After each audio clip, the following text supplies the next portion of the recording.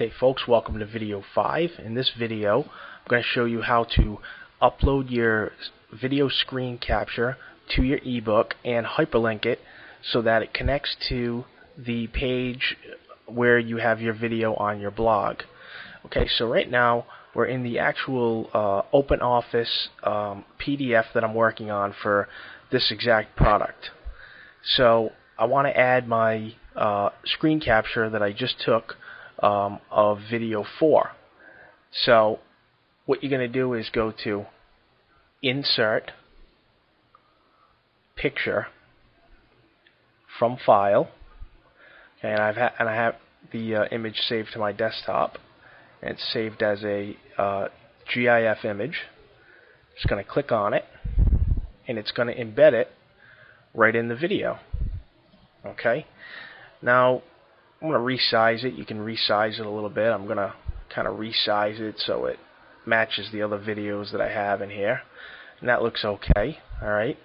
So there you go. So when the reader comes to this part of the ebook and sees this video, they're going to click this button and it's going to take them to my blog page so that they can watch the video. Alright.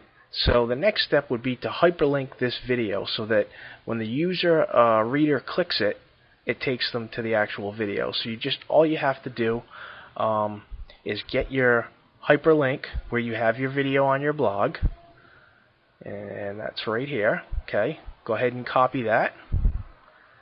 Come back to your PDF that you're working on. Make sure that the image is clicked, and you'll be able you'll notice uh, it has these little green boxes.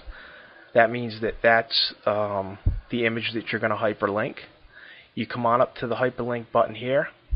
You click it and you go ahead and paste in your hyperlink where your video is. Click apply.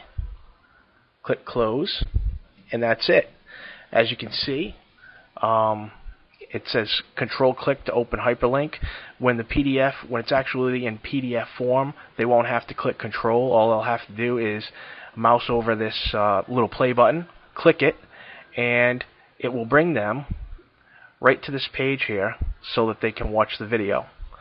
And that's all there is to it.